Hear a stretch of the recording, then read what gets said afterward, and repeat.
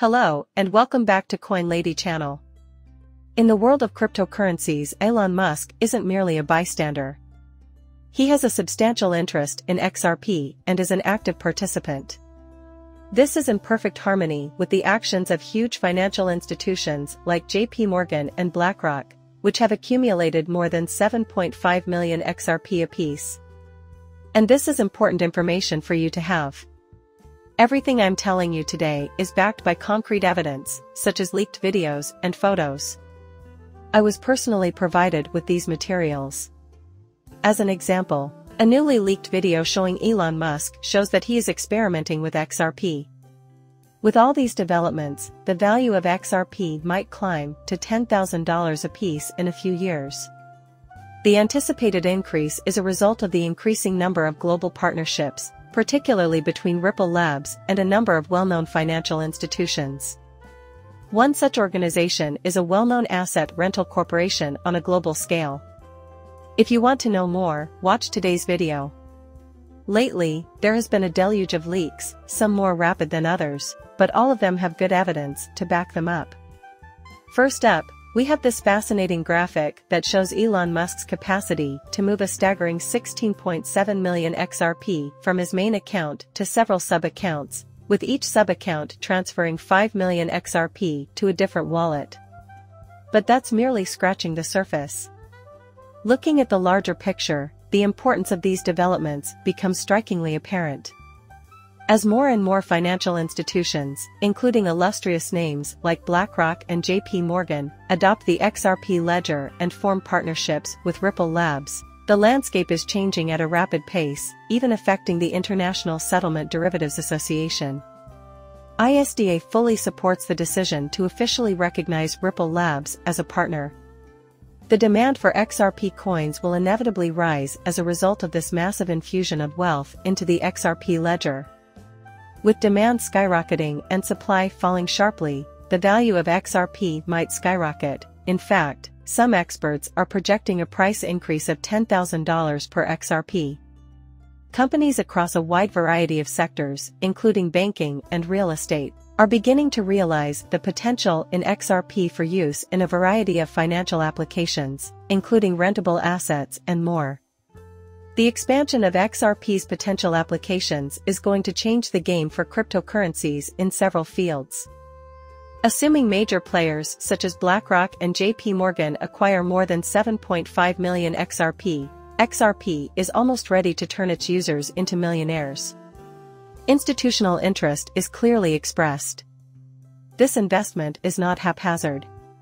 With XRP, these banking tycoons are either on to something revolutionary or paving the way for a worldwide CBDC. All of these things, plus the fact that the XRP ledger is the foundation of the central bank's digital currency system, are coming together to make XRP worth tens of thousands of dollars. You might think it's incredible that a coin with a value of 59 cents could reach $10,000. Everything makes sense after you've done your research. The technology behind XRP is the main attraction for many, including myself. However, for this technology to work, a high value of XRP is necessary. Simply put, XRP is about to play a pivotal role in a worldwide wealth transfer involving sums in the quadrillions. The combination of increasing demand, decreasing supply, and this enormous infusion of cash into XRP positions it for an unprecedented surge in value. This situation needs to be addressed. Although some may find the prospect of XRP surpassing $10,000 unrealistic, it is actually a highly probable result. Occasionally, it's helpful to be reminded of the possibilities that come from comprehending the foundations of these technologies and the dynamics of the market. Charles Hoskinson is starting to see the big picture when it comes to the SEC's corruption, and I can't wait to share his findings with you. The so-called ETH Gate and the obvious conflicts of interest involving Jay Clayton, Bill Hinman, and Gary Gensler have been a topic of discussion on this channel for some time now, even while the SEC appears to be concentrating on CZ and Binance. Given Sam Bankman-Fried's apparent ties to Gary Gensler, many feel they should have looked into him instead. A subpoena to examine these encounters appears to be necessary if we want to find out the whole picture. Recall that a few months back, Charles Hoskinson, came along with us to explore ETH Gate. As we spoke, he conveyed his sympathies and comprehension for the XRP community's struggle to comprehend the scope of the ETH Gate issue. We must all be reminded that Hoskinson is beginning to notice the difference in treatment of ETH and Bitcoin compared to XRP and others, including ADA. These wins aren't just for Ripple, they signify a victory for the entire crypto space, following the major victories against the SEC. An important part of this success has come from this community. I think we are one of the most influential communities, even though we don't always get the credit we deserve. Listen up, for when they do, claiming it to be a security alright, then, what on earth does that imply? What if it's distributed?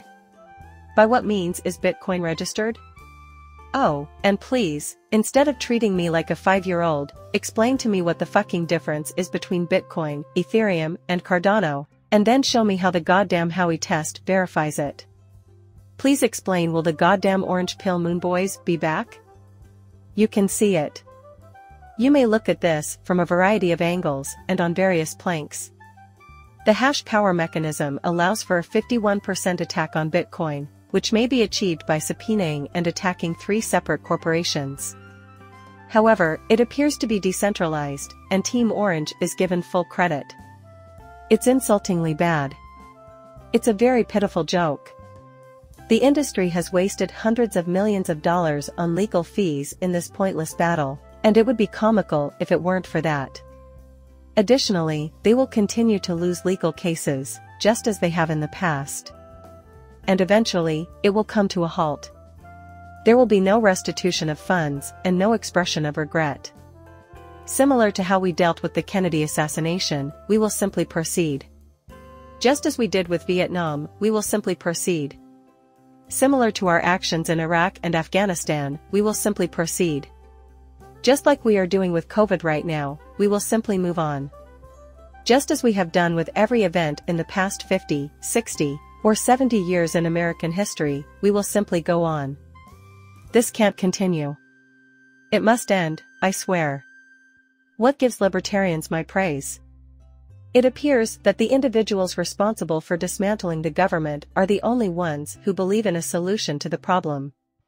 No longer is it held responsible. Victims are human beings. Nothing changes because they get away with it and simply go on. I've had enough. I feel that people in our field are sick of hearing about IT, Cryptocurrencies did not come into being just because someone had the bright notion to put tokens on the internet. Cryptos came into being because people are banding together to fix the social contract, which has been disastrously shattered.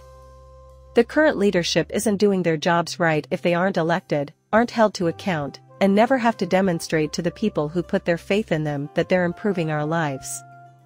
And even when they make a mistake, it doesn't affect them in the slightest, in fact, they may even be promoted or elected to a higher office. Furthermore, as a civilization that is not a people's government, we must just proceed. Made for the people, by the people. That is quite different. That appears to be far more similar to the thing that we revolted against when we established this damned nation. It is you. You can tell that Charles Hoskinson is being quite serious when he talks about the future of the cryptocurrency industry and the United States. It's a sobering warning that the United States will inevitably fall apart if corruption continues to impede the advancement of ideas, business formation, and the fundamental principles that gave rise to the nation. The SEC seems intent on proving that Binance and its founder CZ were involved in FTX-like fraud, but Gary Gensler's response to the FTX scandal involving Sam Bankman-Fried was non-existent, and his silence in the face of significant crypto industry frauds is ear-piercing. Serious concerns are raised by the selective enforcement that targets firms like Ripple, despite their years of rigorous compliance. Despite claims of public safety being advanced in the name of economic parity, it seems more like laying the groundwork for digital currency controlled by a central bank to stifle equal opportunity. CBD oil Even though Elizabeth Warren doesn't like cryptocurrency, she isn't opposed to a CBDC, as her recent remarks demonstrate. It's a disturbing trend that fits in with the agenda of those in charge, a system where our tax dollars really work against us. We are essentially confronted with this issue. Our nation's misfortune is plainly visible.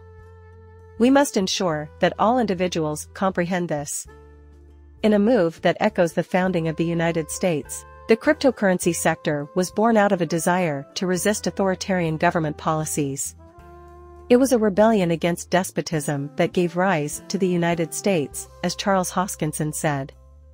Our nation's success for so long rested on this spirit of rebellion, but now it feels like America has lost its way. The crypto community has been missing a key piece of information, and I am here to fill you know, ladies and gentlemen. We are approaching a turning point for XRP, a time of transition if you will, and it is critical that everyone understands this. An increase in its price is only one aspect of this. XRP's enormous acceptance in the real world is almost upon us. Do not assume that I am a certified financial planner, I do not. For your pure amusement, these films include explicit content. Viewers should always do their own research and talk to experts before making any kind of financial choice, as I always stress. Much obliged for your presence. Please subscribe and give the video a thumbs up if you found it entertaining. See you later, bye.